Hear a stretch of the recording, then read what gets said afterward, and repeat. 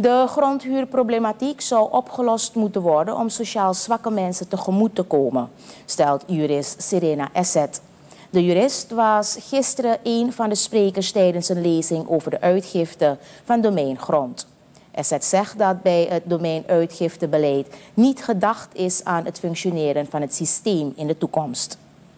Want waar die sociaal zwakkere behoefte aan heeft, is om zo min als mogelijk te betalen een zekerheid van een dak boven je hoofd en dat je daarmee kan handelen in het restverkeer, dat hypotheek kan nemen. Dat kan allemaal met grondhuur.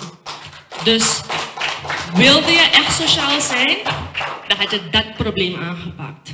En wat we zien in het kader van ons domeinuitgiftebeleid, is dat we over de jaren heen eigenlijk nooit hebben willen nadenken over onze toekomst en dan ad hoc wetgeving maken en dan merken we na een tijd dat het valikant mislukt en dan willen we lappen en lijmen met wat anders. Meneer Kalor heeft uitgelegd, er was eerst erfpacht. Die L-decreten zijn gekomen om corruptie daarvan tegen te gaan.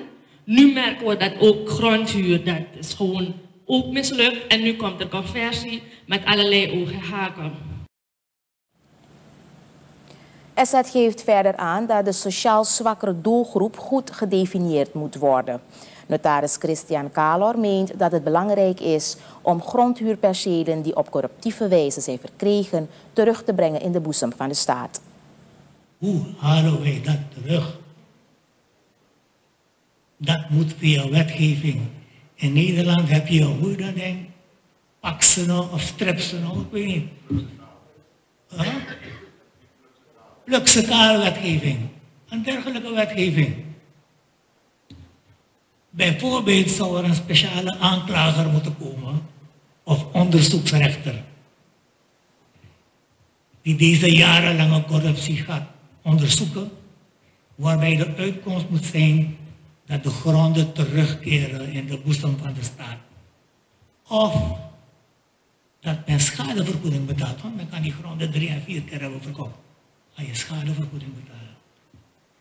Maar ik heb een hele snelle korte termijn oplossing voor u. En dat is bemens de huidige grondkamer die al geregeld is in de landhervormingsdecreten. Kalor benadrukt dat door de bemanning van de grondkamer controle op de minister van Grondbeleid en Bosbeheer kan worden uitgevoerd. De grondkamer is een orgaan dat zich bezighoudt met de bescherming van de belangen van grondgebruikers.